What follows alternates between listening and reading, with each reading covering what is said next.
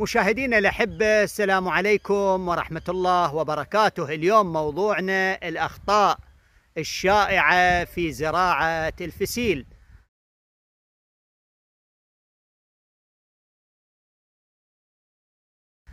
يعني مرات تموت الفسيلة السبب الخطأ في الغرس. راح نتناول الأخطاء في الغرس ونتناولها مع الخبير الزراعي آه، أبو جاسم السلام عليكم. وعليكم السلام ورحمة الله وبركاته. يحفظك. أريد تبين لمتابعي قنواتنا الأحبة شنو الأخطاء اللي يقع بيها بعض الفلاحين أو بعض الهواة في غرس الفسيل؟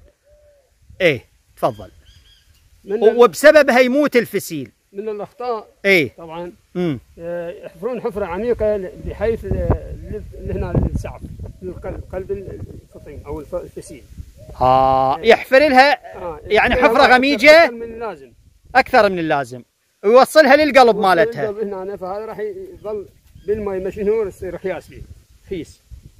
يصير بها تعفن؟ إيه، الطريقة الصحيحة نعم. إنه يقيس ثلث ثلث يخليه بالتراب. يصير إيش قد؟ ثلثها من نمط اللي هنايا هذا بالتربة. أها. والبقية طالعه ثلثين طالع. لا لا. يعني- يعني مراعاة الزرع مالتها والتربة والسقي نعم. الدائم. نعم نعم. حتى يتم الإنبات إن شاء الله. نعم. آه، أبو جاسم بعد أكو أخطاء يعني آه، يقع بها الفلاحين؟ طبعا أكو أخطاء كثيرة. من ضمنها الأخطاء ذكرناها قبل شوية. اي والخطأ الآخر اي أنه لفل الفسيل. بالحلفة أو بقواني مال شفاص أو يعني. شنو لفها مو صحيح؟ آه، لا صحيح هو. هو صحيح. لفه صحيح. بس شنو هو؟ لازم فترة الإنبات من يصير إنبات تنبت ال- الفسيل إي. بعد واحد يحول هذا أو يشيله يرفعه آه، حتى ما يتجمع ماء الامطار ما شنو ويخيسها زين يعني أنا مثلا هسه نفرض زرعت بالربيع. مم. إي إيش وقت أرفع ال- الخيش هذا أو ال- اللي اللي لفيت به قلب الفسيلة؟ إيش وقت ارفعه ومثل بالخريف بالخريف يتم الانبات والحر يروح مثلا. أها. فترة الحر يص- يصير جو زين معتدل نعم. بالخريف أنت فيرفع- تقصد يرفع هذا. نعم. يعني تقصد من يجي المطر يتجمع ال- المطر والمي حول قلب بالهذا ال- بال- قلب النخلة. بقلب النخلة يبقى. وشي شي يسبب يسبب إلى خي... خي... خياس ال- يعني تعفنات. قلب تعفنات وخياس وما شنو. وبالنتيجة يفشل يفشل- يفشل. تفشل الانبات صح. نعم، نعم. هذا أيضا هذا صحيح. اي أبو جاسم بعدك أخطاء؟ من الأخطاء الأخرى أن يبقون السعف سعف الفسيل يبقونه. هذا إذا بقوه راح الهواء يحرك الفسيل. هذا عاد شو يسوي؟ زبرة مثل ما نقول. آه هالشكل إيه. ما هذه شلون الوضعية هذه؟ زين. وإذا بقى السعف شو يسوي؟ يحرك الفسيل. يحرك- الفسيل. ها يحرك قلبها يعني؟ نعم. الفسيل تتحرك. أو اي أي نبات. زين. أي شتله إيه المفروض واحد شوية يخليها في مكان أو يخلي لها سعفات إيش اسمها حتى ما يحركها الهواء خاصة الهواء، في. بداية ال- الزرع. نعم. والخطأ الآخر امم أنه الفسيل نفسه هو ب آه، فسيلات صغار ويا أفراخ؟ ويا أفراخ. يصير داير مدايرها. حاضنات هالشكل. نعم. فهذا الفلاح يستطمع بهن فيخليهم كلهن. يزرعهن ويا الفسيلة.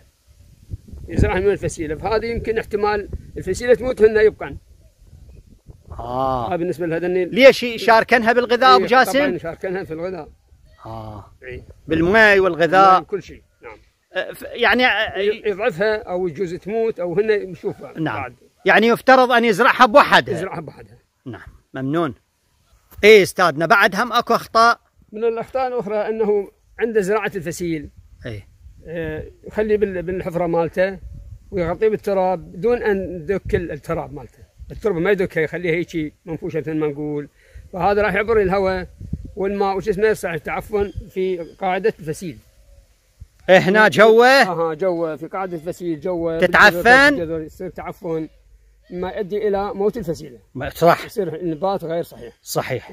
يعني ف- لذلك لازم عليه أن شو يسوي؟ يدك التراب شوي يدوسه برجليه هالشكل ها مشاهدينا آه، لازم تدشون الت- التراب اللي داير مداير الفسيلة وتنطونها مي حتى إيه. تخرج شنو؟ الفقاعات. الفقاعات. حتى تنجح الفسيلة. الأخطاء الأخرى بأنه بعض المزارعين آه، يستغل القاع ويزرع مسافة بمسافة قصيرة كان تكون آه، مترين ثلاثة أربعة فهذا خطأ. راح تشابك الأغصان مالتها والسعاف تشابك الجذور من الأسفل. نعم. فصحيح أنه يكون المسافة سبعة أمتار. هذا سبعة أمتار بين آه. فسيل وفسيل بين نخلة ونخلة. ليش سبعة أبو جاسم؟ حتى شوية ما تشابك ال- ال- ال- الأغصان والأشجار والجذور. السعف ها ويمكن يستغلها بغير شغلات حمضيات ماشي يزرع بيناتهن. إيه. صح. أبو جاسم ما يريد يقدم لها خدمة. أها خدمتها. إذا كل مترين زارع له آه نخلة خدمتها وإنتاجها وضعفها. إي ما يحسب هاي الفسيلة تكبر؟ نعم. أي. راح يضعف الإنتاج يضعف ال ال ال بالنسبة للنخيل. يعني ثمرها وجذعها هم مو مو شيء يصير مو؟ بالضبط, بالضبط. بعد من الأخطاء. بعض من الأخطاء إنه ال- المزارع الفلاح. نعم. إيه، يجيب فد شتلات صغار بعمر صغير يعني بعدهن صغار. ما يتحملن بأنه تحولها من نم الأم. قصدك فسلان آه، جاسم فسيل. فسلان. إحنا. نتحدث عن الفسيل. فسيل صغير يكون. إيه. هذا خطأ.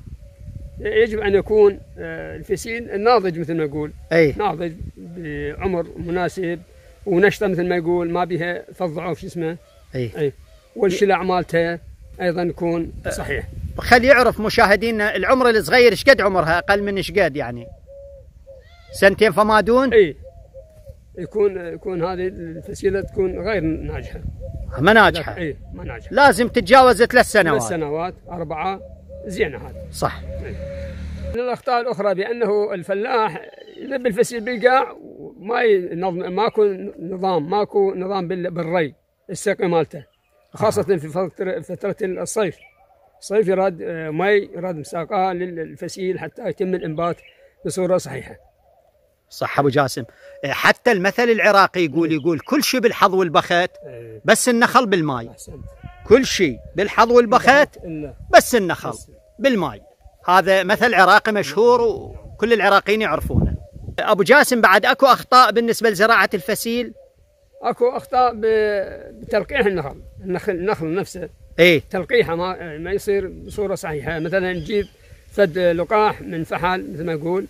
ذكري إيه. آه، غير ناضج أو رديء وما بي هذا الطوز أو الطحين نسميه حبوب اللقاح. شلون نعرف إيه. رديء ما بي الطحين هذا الطوز الأبيض. ما بي powder. اي هذا ال powder الطحين الأبيض هو هذا بيها حبوب اللقاح. زين. وبعدين آه، جيب آه، لقاح من الفحال آه، بأنه آه، ما مشقق هو بال- بالشلاب أو بالسكين أو ما ما مو إيه ناضج بعده ما بي غبار ما ما غبار هذا الطوز. إيه. والنخلة النخلة أيضا نفس الشيء همينه آه لازم يشقق هي ذاتيا يكمل ويشقق ذاتيا زين أنا شايف شقق. أنا شايف هو بال بال بالشلاب وشقها إيه، و... لا هذا خطأ خطأ يعني مو بعد الوردة ما ناضجة يعني مثل الإنسان بالضبط يصير واحد إيه. بعده ما ناضج ما ناضجة. ما ناضجة فهذا ما خطأ. واصل هذا- مرحلة هذا النضج. خطأ نعم إيه. خطأ بالنسبة لتلقيح النخيل. زين لا. والإنتاج يكون ضعيف إذا ما يؤدي بصورة صحيحة. آه، زين إيش قد الفترة المسموح بها بالنسبة للتل؟ إيش وقت يلقح الموضوع؟ يومين ثلاثة بعد شقق هذه ال- الغلاف مالتها يلقحها آه. نعم. نعم. آه، أبو جاسم إحنا إحنا ومشاهدينا طمعانين بعد إذا عندك معلومات ضيف لنا. ترى زكاة العلم نشرة. إي. أكو بعض ال- الأخطاء الأخرى. نعم.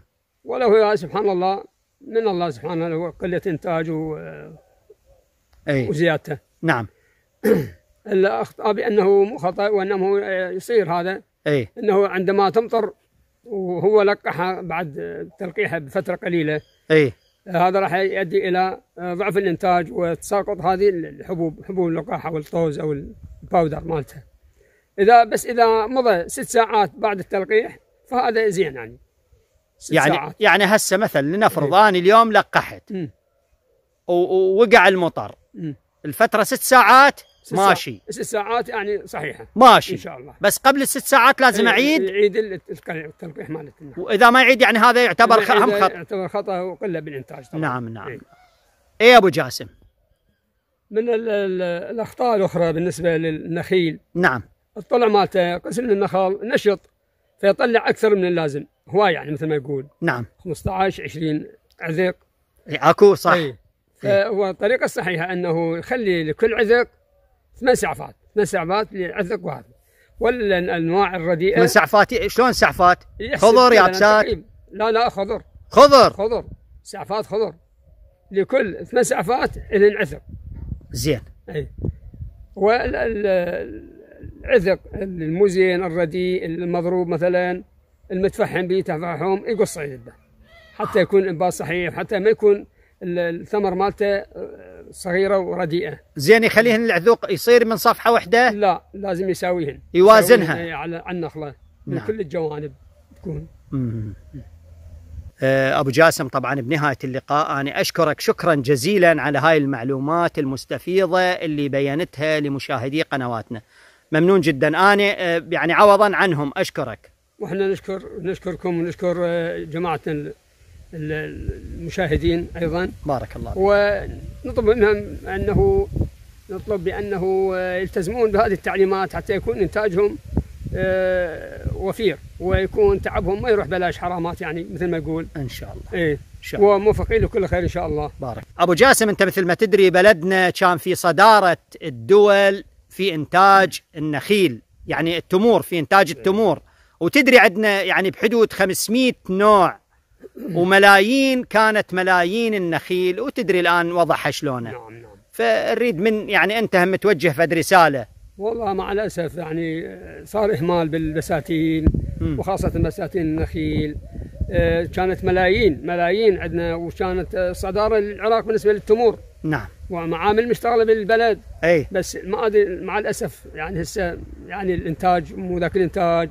تصدير ماكو الاقبال على ال- المنتوج هذا المنتوج التمر أيضا آه، ذاك مو ذاك الاقبال آه، فإن شاء الله نتأمل أنه يكون ال- الإنتاج أحسن وتوجه الحكومة آه، لهذا القطاع المهم. نعم. والله إحنا كذلك نوجه رسالتنا إلى ال ال ال الأفراد لأن الأمة هي متكونة من الأفراد. نعم. أنت مثل ما أنت تهتم وأنا أهتم وغيري يهتم نعم. إحنا ندعو الجميع للاهتمام بهاي الثروة المهمة. وهي يعني الحقيقة من ثمار الجنة هاي. ممنونين ويبارك الله بيك حفظك ويعزك. بارك الله بيك